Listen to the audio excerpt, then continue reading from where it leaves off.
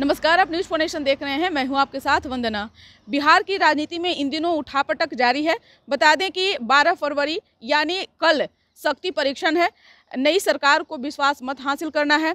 ऐसे में जितने भी दल हैं, वह अपने विधायकों को घेराबंदी करने में लगे हुए हैं। इस वक्त हमें डिप्टी सीएम बिहार के विजय सिन्हा के आवास के बाहर एक पोलो रोड, जहाँ आपको तस्वीर के माध्यम से दिखा दिखाएँगे कि यहाँ जो है भोज का आयोजन किया गया है। बता दें कि बीजेपी के कई विधायक जो हैं उन नाराज़ चल रहे हैं, ऐसी खबरें लगातार चल रही थी। इन सबके बीच बीजेपी जो है दो दिनों से अपने विधायकों को गया में जो है वह ठहराया गया था। हालाँकि बीजेपी के ओर से यह कहा गया था कि शिविर का आयोजन किया गया है लेकिन जिस तरह से फ्लोर टेस्ट को लेकर के बिहार की राजनीति में इन दिनों भूचाल आया हुआ है सभी विधायक पर जो है सभी दलों की, की नज़र है। ऐसे में बीजेपी की अगर हम बात करें तो बीजेपी की ओर से तमाम विधायकों को लेकर के जो है बोध गया में जो है शिविर चल रहा था जहाँ तमाम विधायक मौजूद थे। हालाँकि कुछ विधायकों को जो है कहा जा रहा था कि वह इस कार्यक्रम में नहीं शामिल हुए थे। हालाँकि दूसरे दिन जो है तमाम विधायक जो है वह पहुँच गए थे। 12 फरवरी को बिहार में शक्ति परीक्षण है। नई सरकार को जो है विश्वास मत हासिल करना है और इसके पहले सभी दलों की तरफ़ से विधायकों की जो है वह घेराबंदी जारी है। भाजपा के सभी विधायकों का जो है दो दिवसीय प्रशिक्षण कार्यक्रम के तहत जो है बोध गया में रखा गया था। कार्यक्रम की समाप्ति के बाद जो है सभी विधायकों को इकट्ठे करके जो है पटना लाया जा रहा है। भाजपा विधायकों को बस में बिठाकर जो है पटना लाने की तैयारी में है और वहीं नीतीश सरकार का जो है सोमवार को शक्ति परीक्षण है। मिली जानकारी के मुताबिक बता दें कि तीन बसों में भरकर जो है सभी भाजपा विधायक जो है बोध गया से पटना थोड़ी ही देर में पहुँचने वाले हैं और सभी सीधे जो है डिप्टी सीएम यानी विजय सिन्हा के आवास पर जो है वह पहुँचेंगे। और यही नहीं हाँ, बता दें कि रात में जो है भोजन की व्यवस्था है और यही नहीं शनिवार को जो तीन विधायक गैर हाजिर रहे हैं। उन्होंने भी आज नेतृत्व के समक्ष जो है अपनी हाजिरी दे दी है और विधायक मिश्री लाल यादव के बारे में कहा जा रहा है कि उन्होंने पटना में डिप्टी सीएम सम्राट चौधरी से मुलाकात कर ली है। वहीं रश्मि वर्मा और विनय बिहारी भी साथ हो गए हैं और नई सरकार के फ्लोर टेस्ट से पहले राज्य में जो है सियासी हलचल तेज है। सभी पार्टियाँ अपने अपने विधायकों पर जो है वह नज़र बनाई हुई है। एक और जहाँ कांग्रेस अपने विधायकों को हैदराबाद शिफ्ट कर दी थी तो थोड़ी देर शाम जो है सभी पटना लौटेंगे।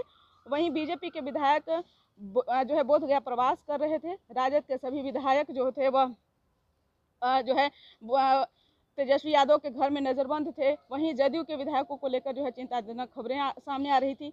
शनिवार को जदयू के मंत्री श्रवण कुमार के घर जो है भोज भोज का जो है आयोजन किया गया था।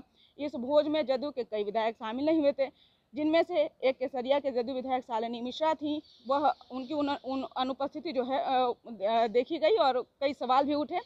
वहीं सालिनी मिश्रा को लेकर के भी जो है जानकारी सामने आ रही है कि वह जो है रालोजत के प्रमुख यानी उपेंद्र कुशवाहा के साथ जो है दिल्ली में थी।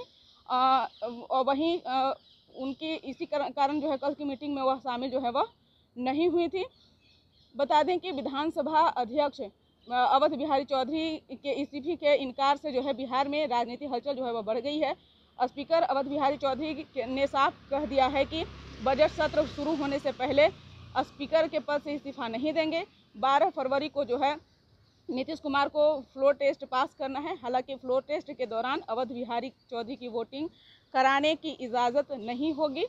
वहीं क्योंकि उनके खिलाफ भी एनडीए ने अविश्वास प्रस्ताव का नोटिस जो है दिया गया है।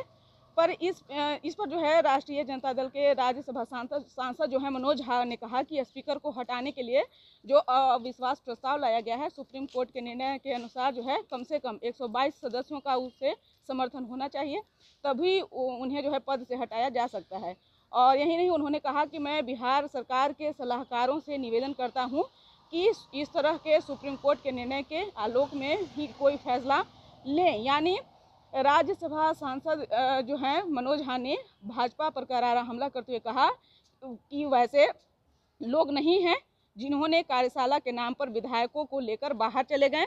और यही नहीं, उन्होंने कहा कि महागठबंधन के सभी विधायक एकजुट हैं और एकजुट रहेंगे। लेकिन भाजपा के विधायकों को जो है, दो दिवसीय प्रशिक्षण का कार्यशाला कार्य कार्यक्रम के तहत जो है वह बोध गया जो है, वह रखा गया था। इससे पहले हम आपको विजय सिन्हा के आवास की तस्वीर दिखा दें, जहाँ देखिए कि यहाँ तैयारी चल रही है, गेट बंद है, अंदर जाने की परमिशन नहीं है।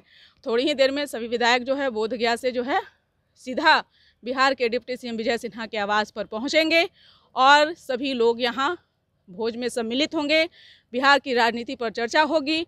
कहा जा रहा है कि बीजेपी के कई विधायक जो हैं, वह गैर हाजिर हैं। ऐसे में सभी की मौजूदगी होना यहाँ अनिवार्य बताया जा रहा है। सूत्रों से मिली जानकारी के मुताबिक बता दें कि बिहार में कल यानी बड़ा खेला होने वाला है। तो ये तस्वीर है बिहार के डिप्टी सीएम विजय सिन्हा के आवास का, जहाँ आप तस्वीरों के माध्यम से देख सकते हैं कि कुर्सियाँ लगी हुई है और थोड़ी ही देर में नेता जो हैं, वह पहुँचने वाले हैं। यानी पल पल की खबर जो है, न्यूज़ फॉर आप सभी को बता रहा है और उन तमाम चीज़ों से अवगत करा रहा है कि बिहार की राजनीति में पल पल क्या हो रहा है, क्या बदल बदल बदल रहा है।